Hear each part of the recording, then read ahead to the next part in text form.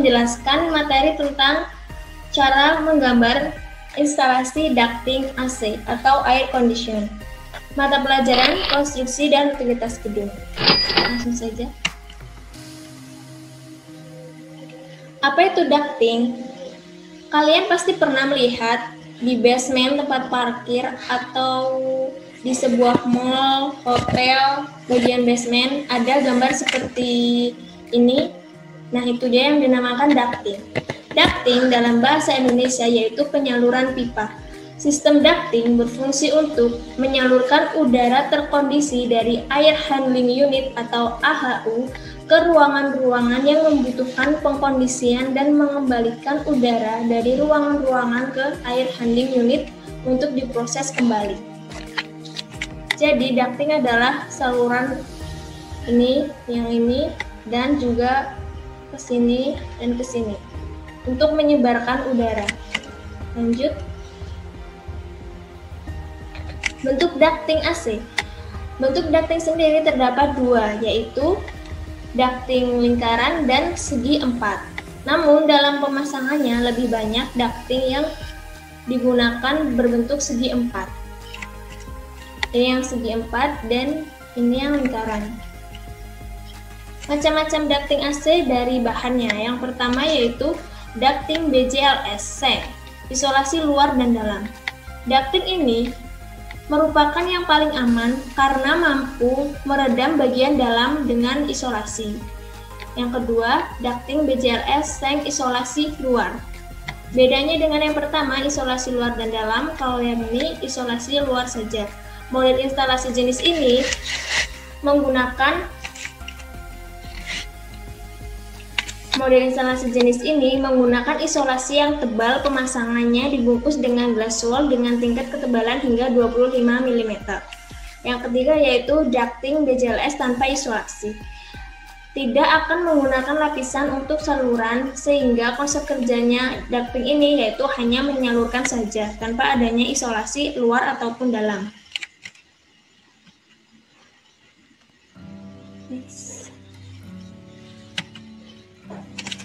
Selanjutnya saya akan menjelaskan SAD dan RAG. Apa itu SAD? SAD merupakan supply air diffuser. Berfungsi sebagai pengeluaran juga menyebarkan udara secara langsung pada suatu ruangan. Jadi, penyaluran-penyaluran ducting tadi outputnya adalah SAD yaitu supply air diffuser. Kalian pasti sering lihat kalau di atap hotel, mall ada bentuk seperti ini yaitu fungsinya mensuplai udara baik dingin maupun panas.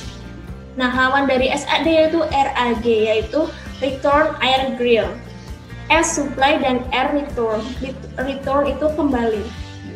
Berfungsi untuk sistem pemanas ruangan maupun pendingin, kegunaan benda ini mempermudah udara untuk kembali kepada sistem pemanas atau pendingin ruangan.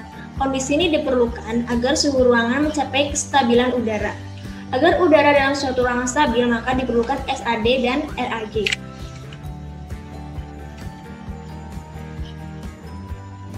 Nah, ini contoh dari penggambaran instalasi ducting. Ini ada SAD, ini ada RAG.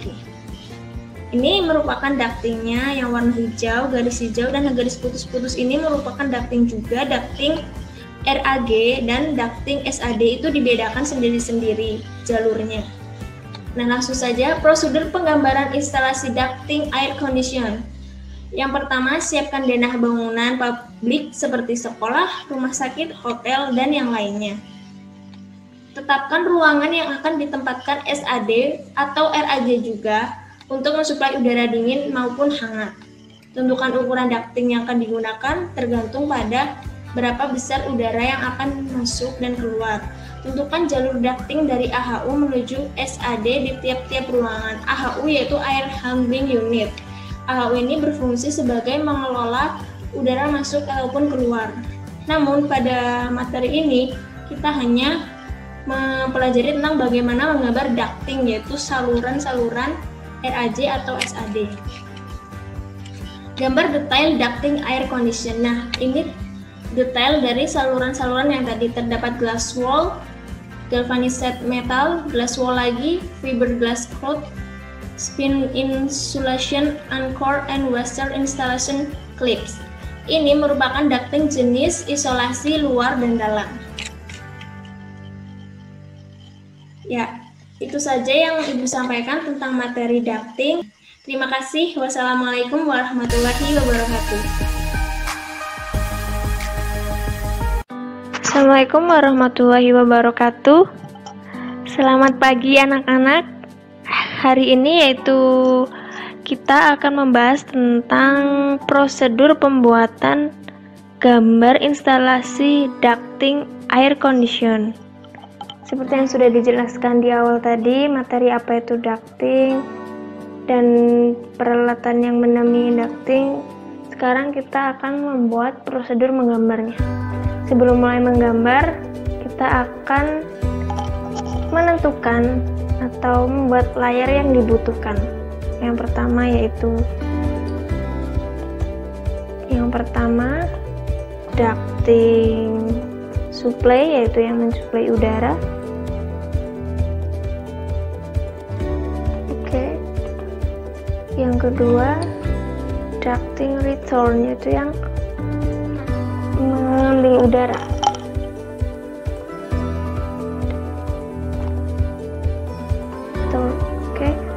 selanjutnya SAD yaitu supply air diffuser.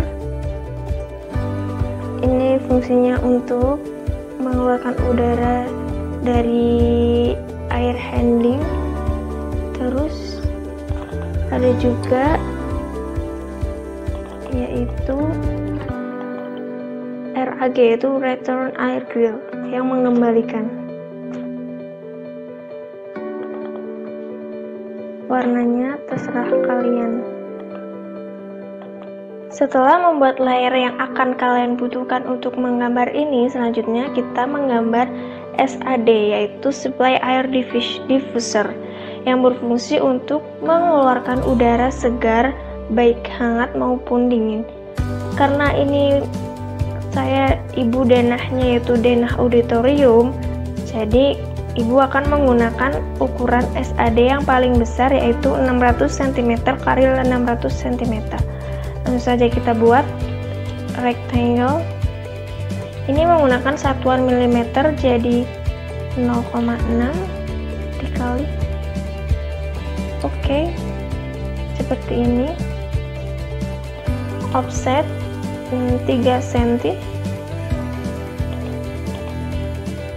ini hanya simbol saja ya.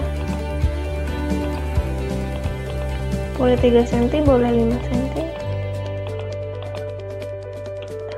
kemudian untuk mempermudah ini dipindah dan di copy maka kita akan menggrup komponen ini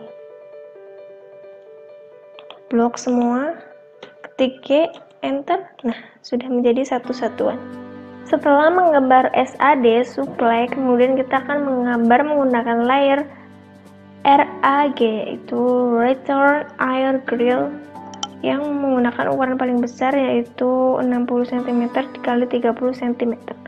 Langsung saja kita buat 60 0,6 dan 0,3. Oke, seperti ini.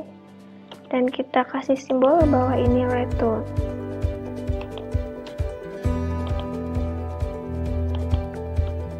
jangan lupa jangan lupa grup dulu agar mudah untuk di copy copy grup enter oke okay. setelah kita membu setelah kita membuat RAG dan SAD nya kita akan menentukan titik-titik menentukan titik-titik penempatan SAD dan RAG nya. Cara pertama yaitu tentukan garis tengah bangunan kalian. Seperti ini kalau ibu menggunakan dana auditorium jadi tengah-tengahnya di sini. Tarik garis dari tengah sini menuju oke selanjutnya ibu akan membagi menjadi dua offset. 8 meter ke atas dan ke bawah. Kemudian untuk samping kita juga akan membuat garis lagi garis vertikal. Kita offset uh, sejauh 6 meter. Jarak horizontal 6 meter. Langsung saja kita tempatkan. Jadi untuk penempatan SAD dan RAG itu penempatannya itu selang-seling dan berdekatan agar agar terbaginya antara pensuplai udara segar dan penyedot udara juga terbagi rata. Langsung saja kita pindahkan dari SAD terlebih dahulu. Ambil titik tengah. Kita pindahkan ke sini. Dan nanti yang kosong ini untuk RAG, return, jadi untuk penyedot udaranya. Kemudian untuk garis ini itu bertujuan hanya untuk garis bantu saja yang nantinya bakal bakal ibu hapus untuk garis bantu penempatan saja.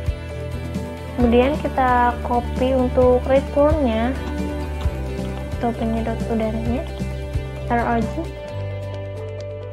eh, kita pindahkan di tempat yang kosong tadi ini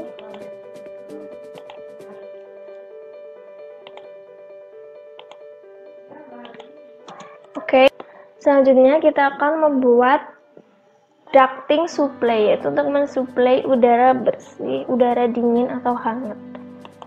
Ini karena kita menggunakan layer yang sebelumnya, maka kita ganti dulu menggunakan layer menggunakan layer ducting supply yang akan kita bikin.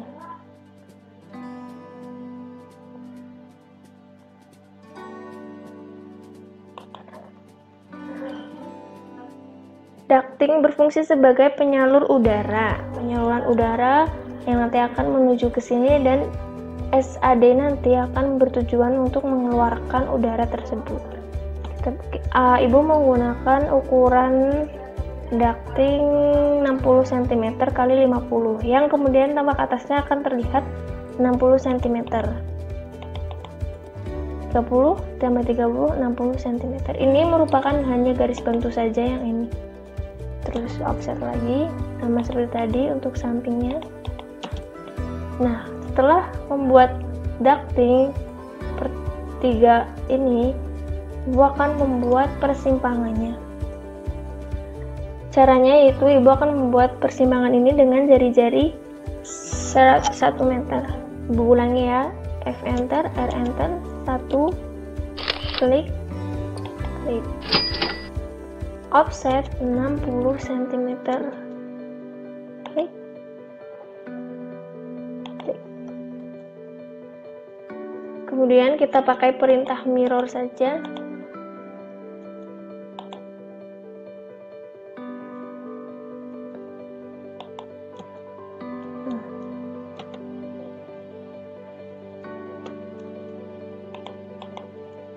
Setelah itu kita tarik garis lurus untuk membuat pipa lurus.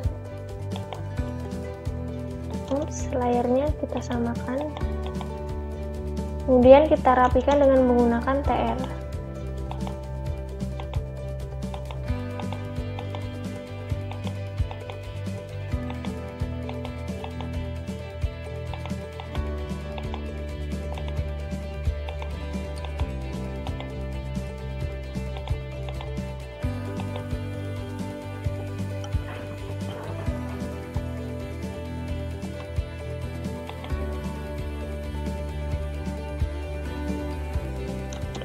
rapikan agar menjadi persimpangan.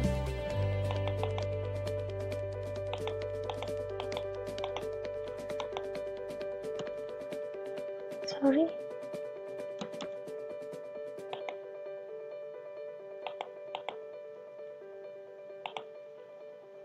Oke, jadi persimpangan seperti ini. Nah, langkah selanjutnya kita akan mengcopy ini ke titik supply supply. Di copy saja. Untuk ke tempat yang kotak supply. Akan menjadi seperti ini. Sebelumnya ibu lupa menjelaskan mengapa menggunakan RAG berukuran 60 kali 60 dan ini 60 kali 30 karena ini merupakan ukuran terbesar yang biasanya digunakan. Untuk pipa juga Ibu mengikuti yang terbesar yang biasa digunakan. Langsung saja kita akan membuat ducting return untuk penyedot udara yang sebelah sini. Caranya sama seperti yang sebelumnya membuat ducting supply. Pertama kita ganti layarnya dulu sebagai garis bantunya menggunakan layar ducting return.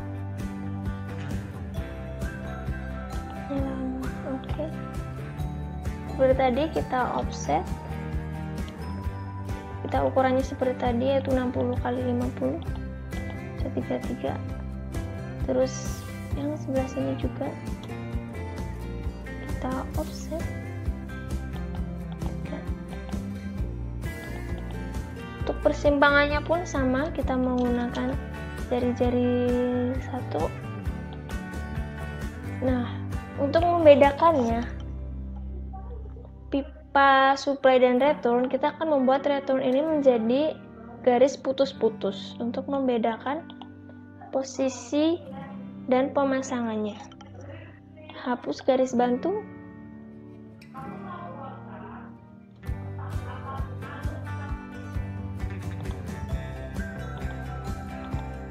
Nah, untuk gambar instalasi ducting air condition itu seperti ini. Jadi di sini terdapat SAD yaitu supply air diffuser yang mensuplai udara baik udara dingin atau udara hangat dan yang sebelah sini itu ada RAJ return yaitu untuk mengembalikan udara tadi yang dikeluarkan ke dalam sistem ducting lagi yang akan diolah oleh AHU. Oke, sampai sini Ibu menjelaskan tentang sistem ducting. Terima kasih atas perhatiannya. Wassalamualaikum warahmatullahi wabarakatuh.